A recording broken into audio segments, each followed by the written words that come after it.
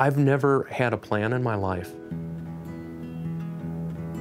And I find that I'm better off embracing what comes along.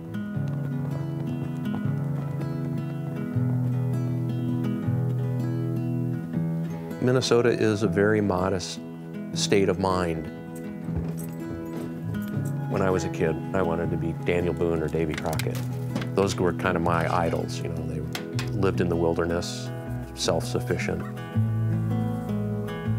Being outside, that means so much to me.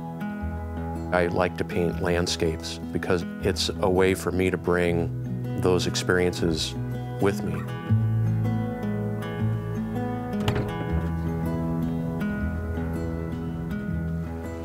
I am whatever it is that I'm doing. If I'm painting, I'm a painter. When I fish, I'm a fisherman. I'm kind of full in.